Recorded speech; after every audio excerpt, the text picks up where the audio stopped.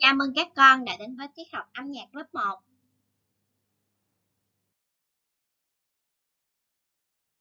Thưởng thức âm nhạc Giới thiệu nhạc cụ nước ngoài Maracas, Triangle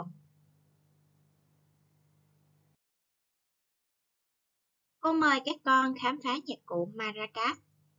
Maracas là nhạc cụ gõ tự thân vang, hình bầu có đuôi cầm, sử dụng bằng cách rung hoặc lắc để tạo âm thanh Chúng ta nghe âm thanh nhạc cụ maracas nha.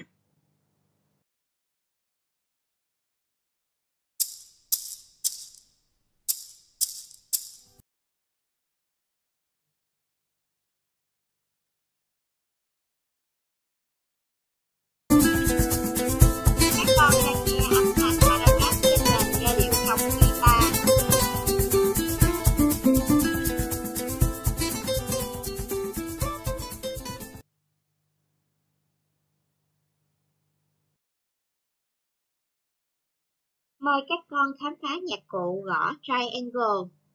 Triangle hay còn gọi là kẻ tam giác là nhạc cụ gõ tự thân vang bằng kim loại hình tam giác. Nhạc cụ có một cạnh hở, mỗi cạnh dài 15 cm. Có dây treo, thanh gõ được làm bằng thép hoặc kim loại, có tay nắm bọc nhựa dài 11 cm, đường kính 5 mm. Nhạc cụ được gõ đệm khi hát hoặc hòa tấu với các nhạc cụ khác. Có hai cách cầm nhạc cụ triangle. Cách 1. Một tay cầm sợi dây treo nhạc cụ. Tay kia cầm thanh thép gõ vào nhạc cụ sẽ có âm thanh vang, tiếng trong trẻo. Cách 2. Lòng bàn tay giữ cố định hai cạnh của nhạc cụ hình tam giác.